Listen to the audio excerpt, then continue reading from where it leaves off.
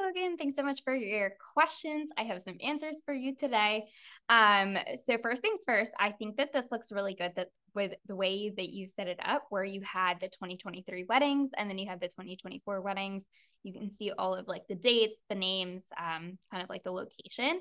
Um, and exactly what you said of like deleting out album design if they don't have an album design that's what I do. Um, I wasn't really sure for photo and video, like how different your video workflow is, and if that's something that you can just have like a little like section here for the video part.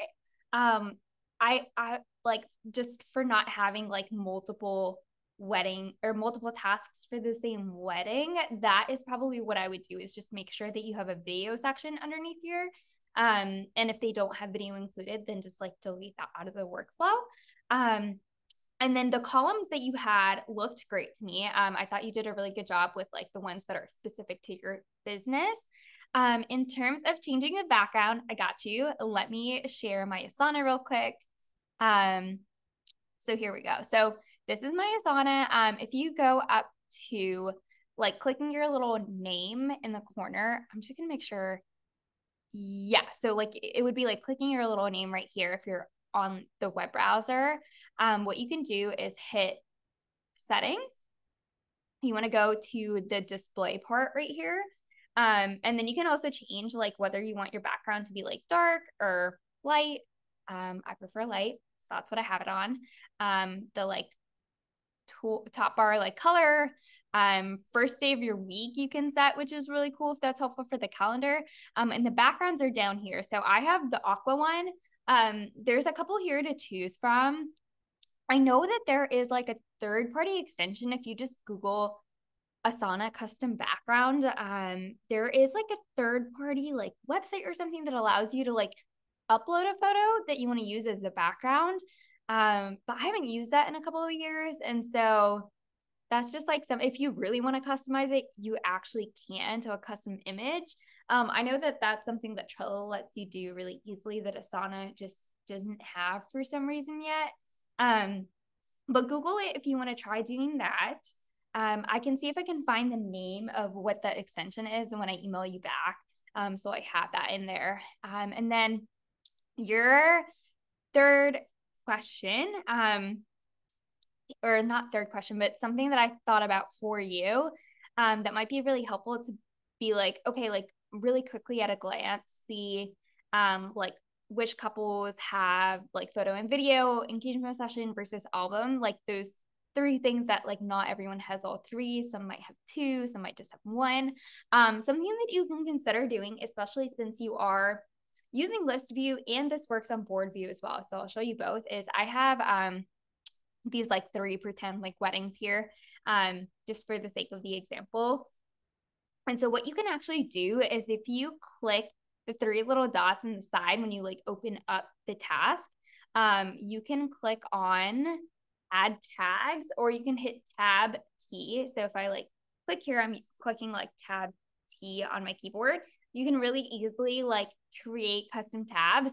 Um, so I had already like type these in, but if you just want to create a new one, you will just hit create tag um, and then you will assign it a color.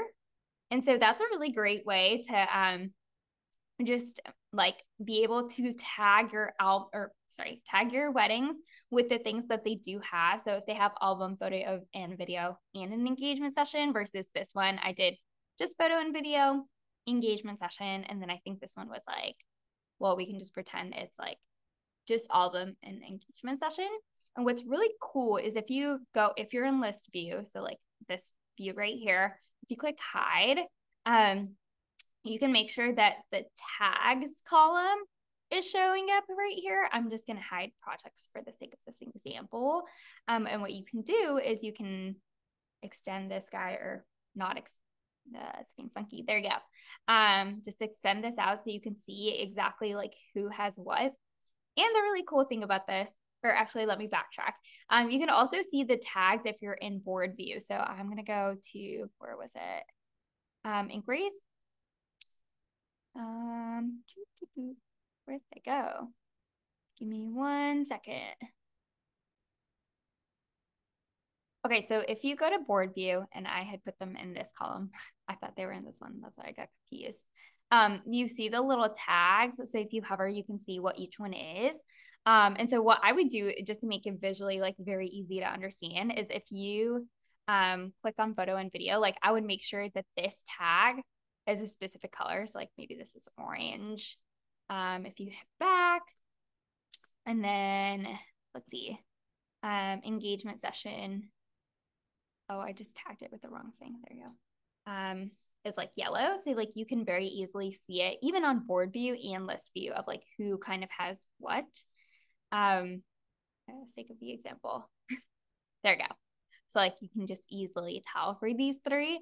Um, and the really cool thing as well is that if you click on the tag like photo and video, you can just sort like it'll automatically sort it and just tell you like which all weddings have that tag on it. So you can really easily say, okay, like these are the two weddings that have photo and video versus if you click on engagement session, this tag, like you can see engagement session up here. Um, and you can see everyone that has an engagement session like right off the bat really quickly. Um, so that's something to play around with if that kind of helps make your organization easier. If that feels like too much, then feel free to like skip that and just stick with like having the columns and like deleting out the parts of the workflow that don't apply to each wedding. Um, but that's a really great way, especially if you have a higher volume of weddings and you want to be able to like sort like this really easily to be like, okay, like who do we need to do an album for? Um, that can be a really great way of doing things. So let me know if this answers your questions. Um, and if you have any other like follow up questions based off of this, I didn't include this part of things in the actual product because I didn't want to overwhelm people. Um, but I'm always here if you have like more complex Asana things or like Asana questions. If you Google something or like if their customer service does not reach out to you and respond, I'm always happy to answer anything with it within like my expertise of Asana. Um, and then if you do have any follow ups, just a quick heads up that I'm going to be out of town this weekend. Um, I'm celebrating my br- brother's birthday in New York. So again, it might take me a little bit longer to get back to your questions. Um, but I appreciate you you're just like just dealing with me and dealing with a little bit of a delay. And I hope that this is super helpful for you.